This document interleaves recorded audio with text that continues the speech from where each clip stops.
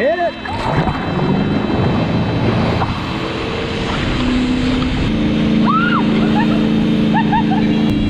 All right, Natalie, remember when we practiced yesterday? All right, I'm gonna show you what I want you to do. You can lift up a little bit.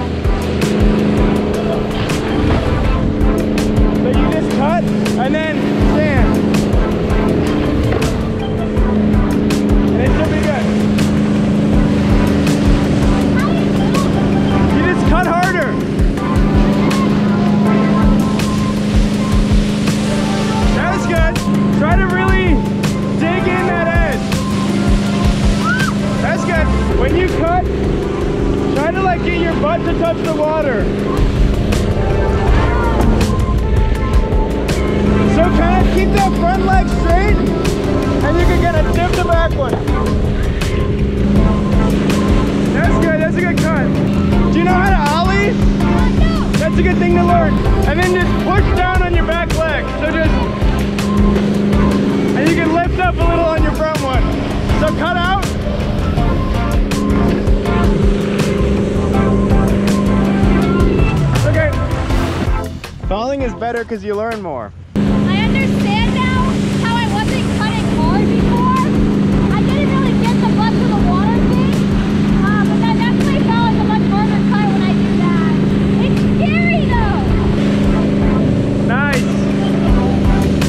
Water's really fast.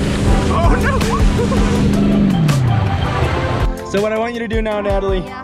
is I want you to do those load and release, and then I want you to ollie at the end of it.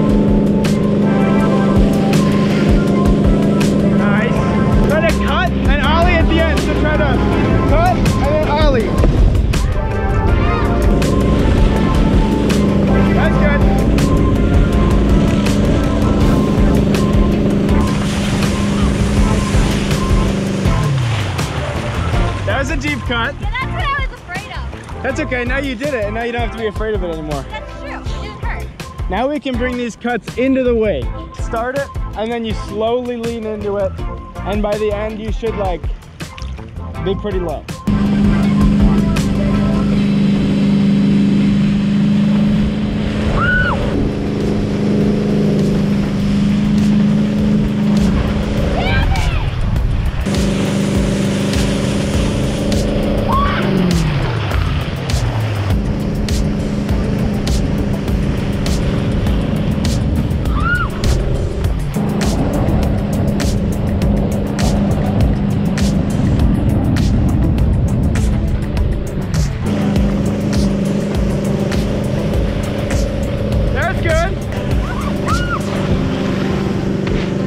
That one looked good.